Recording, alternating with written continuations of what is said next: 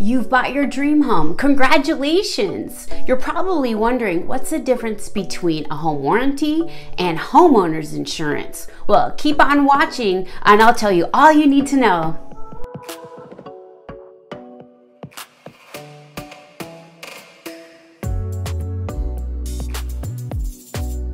I'm Nicole Kleppe and I'm a realtor with Remax Fine Properties in Scottsdale, Arizona.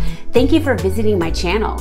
Specialize in people relocating to the Scottsdale area, so I talk about everything Scottsdale. Remember to subscribe to my channel and click the bell icon for a reminder of my next new video.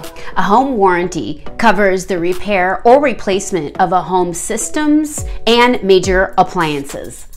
HVAC systems wear out even with proper maintenance. A home warranty covers a repair or replacement for these systems. Is your oven cold? Your refrigerator warm?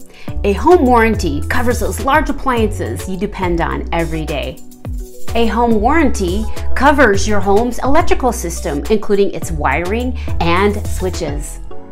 A home warranty will cover the repair and replacement of your home's plumbing system. A home warranty will not cover the damage from plumbing problems, but your home owner's insurance can.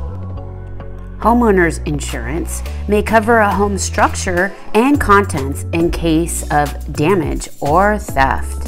Damage caused by storms, wind, hail, and rain should be covered by homeowner's insurance. Homeowners insurance can pay for the damage caused by a fire. Insurance can also cover the damages of belongings in the fire.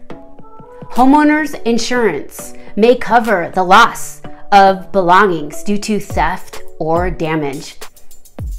Damage caused by a leak should be covered by homeowners insurance, but the toilet repair or replacement would not be covered.